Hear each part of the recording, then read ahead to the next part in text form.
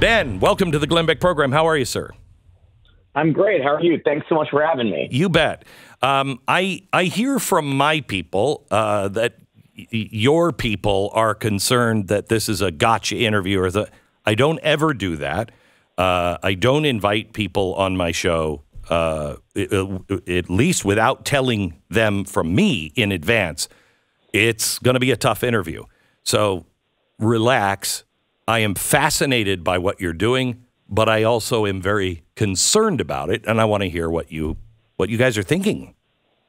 Cool. Well, no, I mean, my I guess PR teams and your people and my people, you know, they always have their opinions on things. I mean, we're a pretty open book, right? And yeah. we're pretty excited about what we're doing, and you know, we love to talk about it. With you know, not everyone loves what we're doing. Right. Uh, we've been, we've been very fortunate to have you know a lot of support, but you know, I feel like it's our job to have conversations with all of the groups and really educate the people what we're doing and be transparent about it, right? And and then let people form their own opinions. It's not really our job to persuade anyone one way or the other. So I'm just I'm just happy to be here. Okay.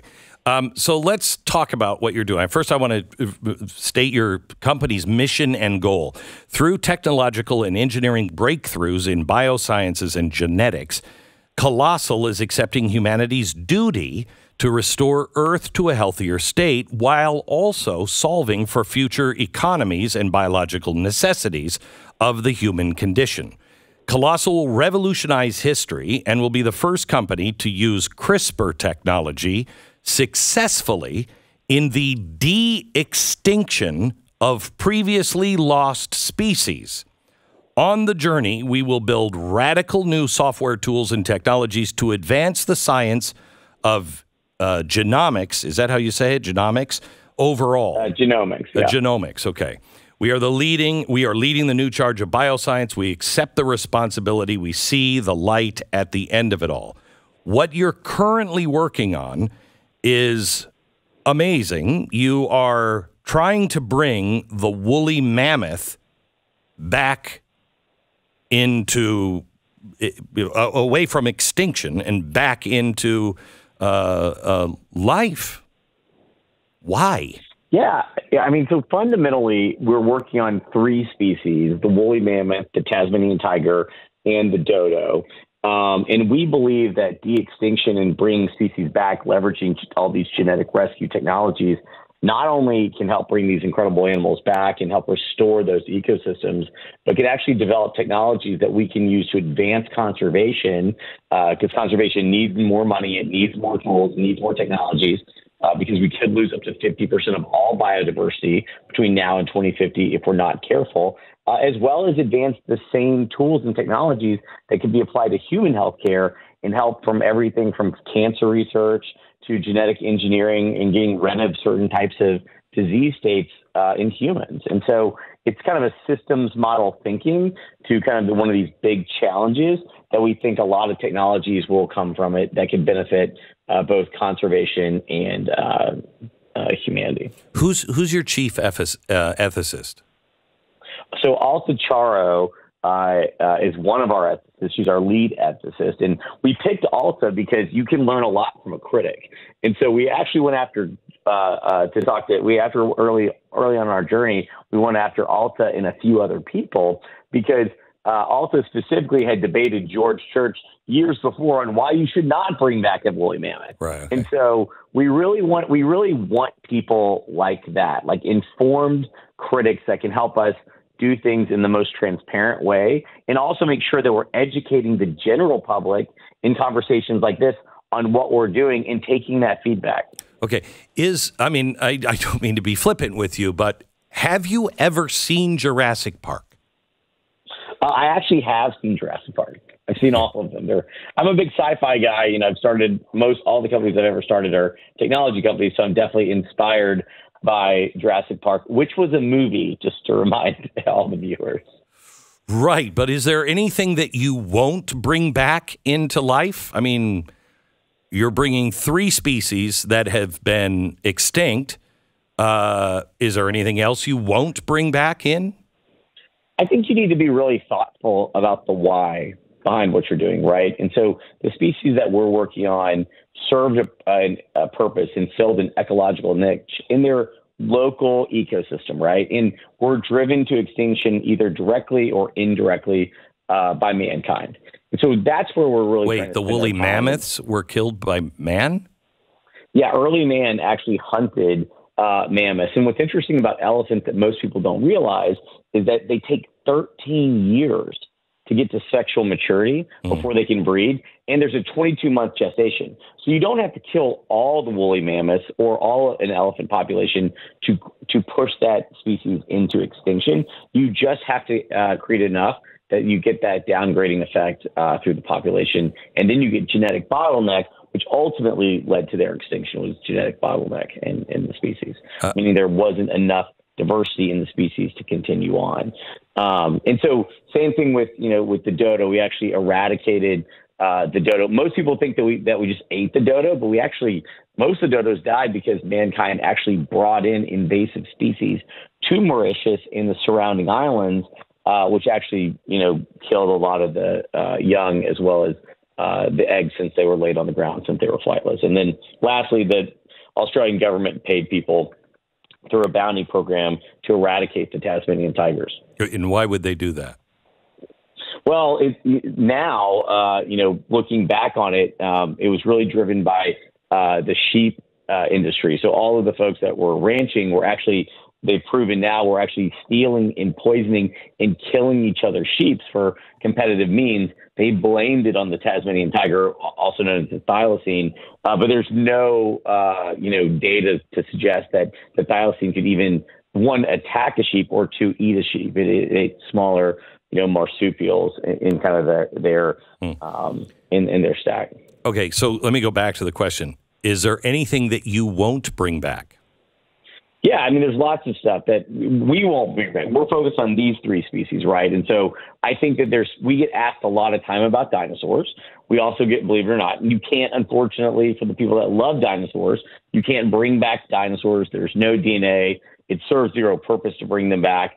Uh, weirdly and re- really weirdly enough, though, we get asked about the megalodon a lot, which terrifies me that people would even ask that question, Glenn. My son would um, ask that question. Yeah, people yeah. ask that question, and I'm like, do you really? Assuming that we could, which we can't, why would you ever? I mean, the ocean's already scary enough.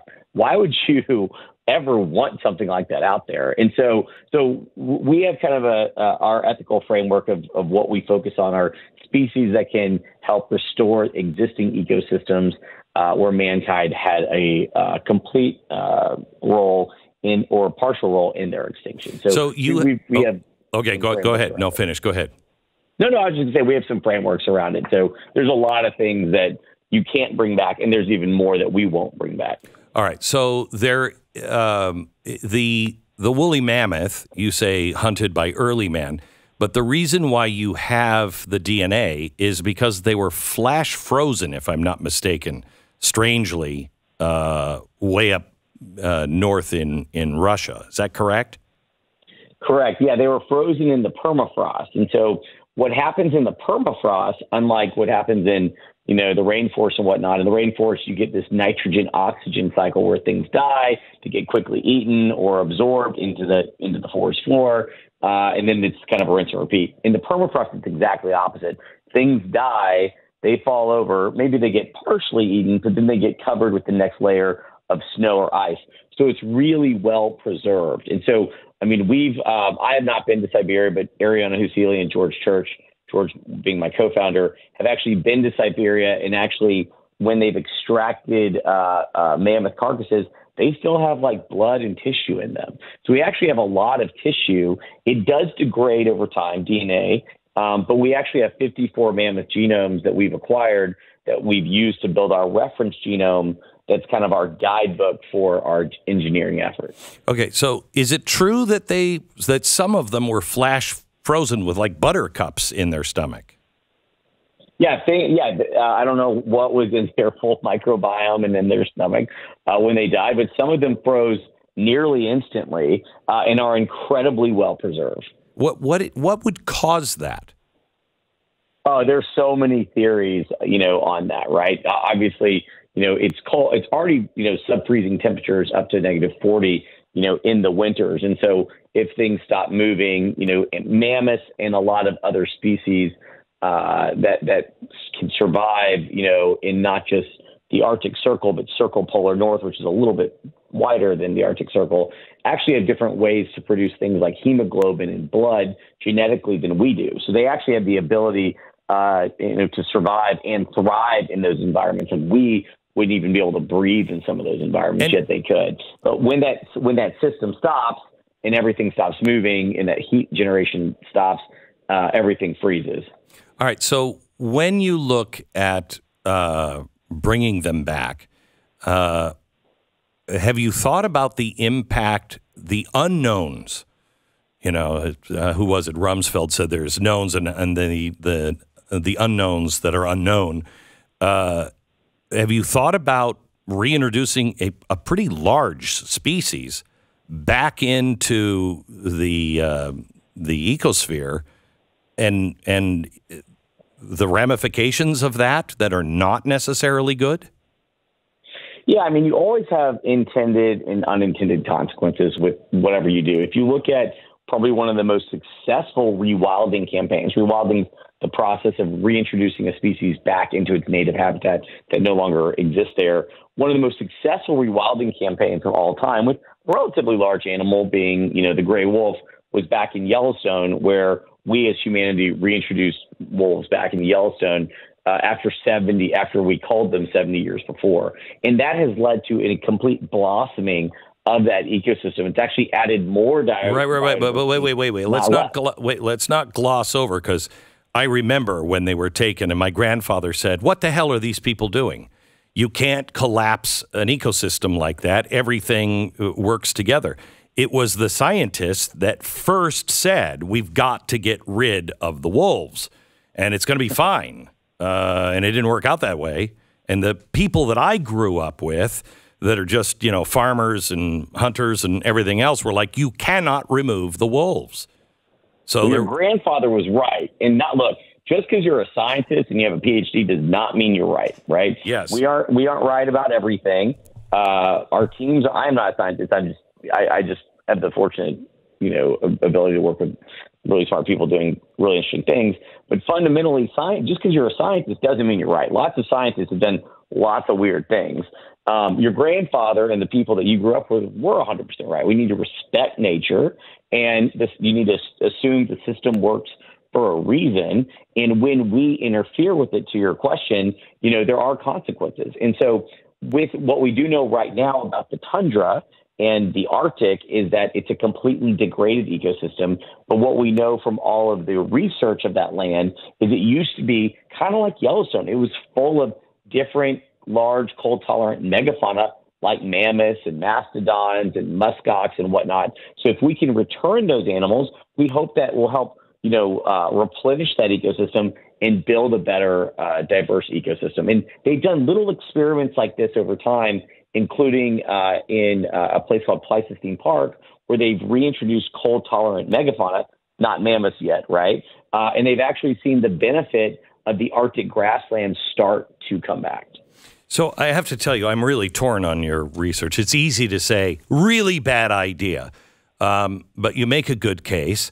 Uh, and so I, I, am torn on it, but I'm, I'm a guy who thinks what Bill Gates is doing with mosquitoes is a bad idea wait, we're going it's to just a lot easier. Uh, yeah, but we. It's a lot easier. Oh, sorry. That's food for a lot of animals. A lot of animals. Bats come to mind. Yeah, and it's a lot easier to roll back uh, an unintended consequence from a multi-thousand pound animal than a mosquito, right? Like when you start to look at the world of genetically modified organisms or, or GMOs, you know, I think that you know we don't have as many, I think, challenges. We have different challenges, but it's a different set of challenges than people that are working with like mosquitoes or gene drives, where they really have to be mindful of the unintended consequences. We definitely need to be mindful of the unintended consequences, but you know, we're not going to lose a All several right. thousand pound animal. Okay, hang on for 60 seconds. So many things are happening in the world that I can't believe I, I talk about in a serious sort of way. Everything is was science fiction and it's becoming science fact.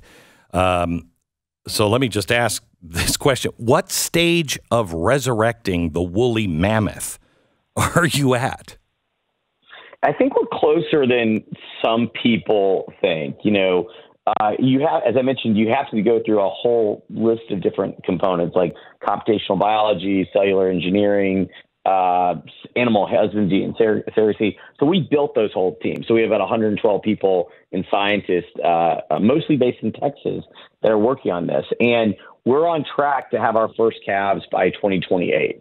Um, that could slip, but we're pretty confident right now about the timeline. We've already assembled the amount of DNA that we need to be successful. We've already leveraged AI and software tools to to map mm-hmm. that to the eight to the Asian elephant reference genome that we had to also create. Remember, we, it's not just about the mammoth. We had to go create a reference genome for the Asian elephant. We've done all of that comparative analysis using AI computers, and then we've established these cell lines, and then we've started to make edits. Uh, um, and, and actually the CRISPR edits and the other genetic engineering tool edits into those cell lines. And so at, once we complete our full list of editing, we'll go through the process of, you know, cloning, which is also known as somatic cell nuclear transfer, and, you know, put it into an elephant surrogate to, to grow. Well, Ben, thank you so much uh, for being on the program. I, I think I'm right where I was before. Uh, doesn't sound like a good idea, um, but you have better reasons for doing it than I thought. Uh, and I, uh, I really appreciate it. Thank you so much. Ben Lamm yeah. from uh, colossal.com. Last comment, real quick? No. Okay. Uh, ben Lamm from colossal.com. Back in a minute.